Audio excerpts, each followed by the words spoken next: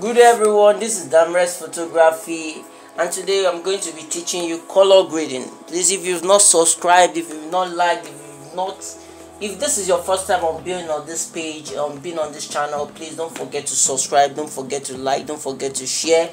Uh yeah, and what they call today we are going to be talking on color grading. Color grading, yes, color grading. So for the last image I spoke on uh, what they call it, I spoke on frequency separation i spoke on skin retouching so i mainly retouched the skin of the image um, during the previous lecture and as you can see before after before after. So right now what i'm going to do is i put all those um, everything i did into one folder and name that skin. So for that um, group we have skin retouch. So next thing what we're going to do is uh, we are going to color grade and what I use to color grade my images is camera raw. I use camera raw for color grading my images. And for you to be able to color grade your for you to do that what we'll do now is I'm going to make a stamp layer.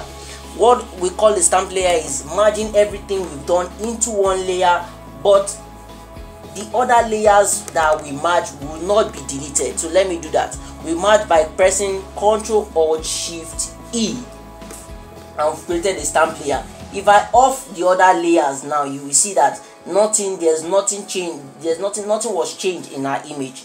We still have those other layers but we've merged everything into one layer while they are not still there uh, while they are not still deleted.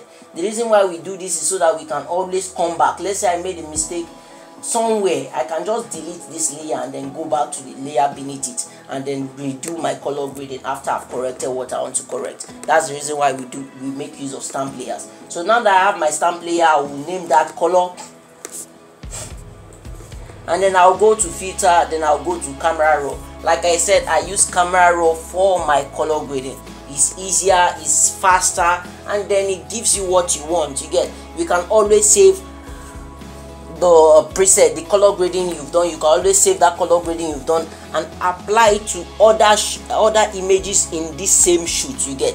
If you have other images um other images with the same sets of this if you have other sets of this same image and you want to apply color grading so that everything will be uniform you could always save your color grading after you've done that and then just apply to the other images. So for this particular one now what i'm going to do is i'm going to go to calibration go to calibration that's the first thing i do in my camera raw this is just to make the colors pop and then give it the overall feel. First of all i'll give it a saturation of 7 give it a saturation of 7 then i'll my, my, i would play with the hues if i take it here this is not what i want. I take it here okay this is and this is better than this for me. So i'm going to leave it around here. That's for the blues. I'll do the same thing with the greens and make sure it's at saturation of 7 i don't like to man play with the saturation too much you get. So saturation of 7 then i play with the hues too. Like this this is not what i want. Okay around here we're bringing a bit of back the red into the skin. So i like this this is okay. So for the red for black skins be careful you get. For white skins you might want to bring in red into it you get. But for black skins be careful because you usually already have red in your skin you see we already having reds in our skills. Watch what happens if i give this um saturation of 7 and then i work with the skin? You see that i'm bringing quite a lot of reds into the skin already. So if this is not what you want i just you just have to be careful with how you put the red. So for me i'll just leave it around 4 for saturation and then I give it a bit of red too around here. I think that's okay for me so that's all for calibration before after before after. So you might think you've not done something but you've done. If you look at it depending on type of images the what the calibration can do can be drastic. If you have a cloth on this image now you really see how it made the image pop. But for this i think i've done something i've done what i want for the calibration. What i have to do next is go to color grading.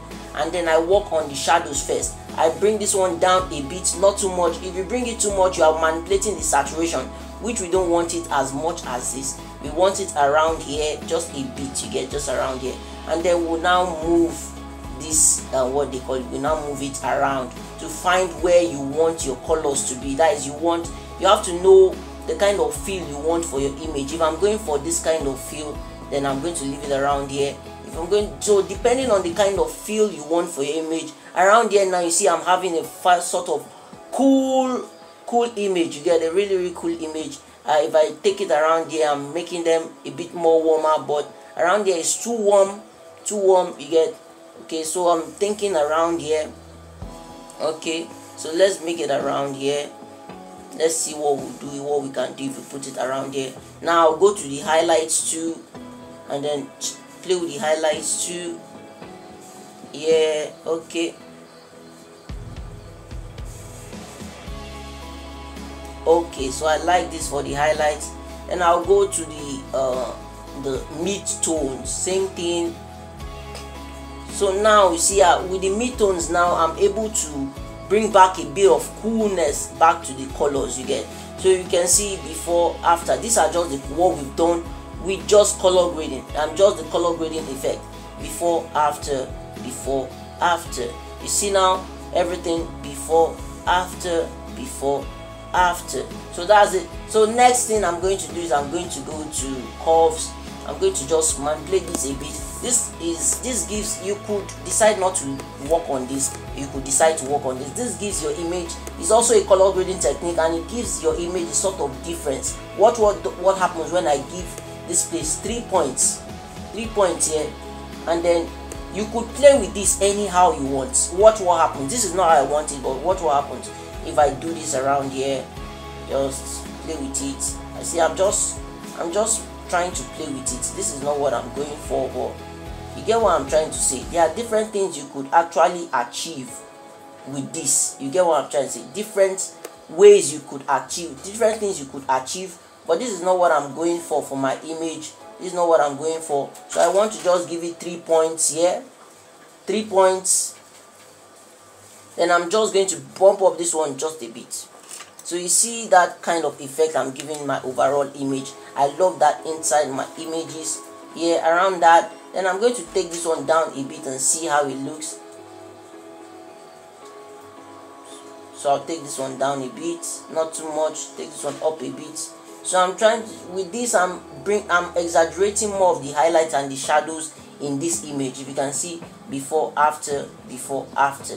You get? Now I can go to reds if that's what you want. I don't really manipulate my reds that much but you could also go to it depending on the image you could see what it could give you.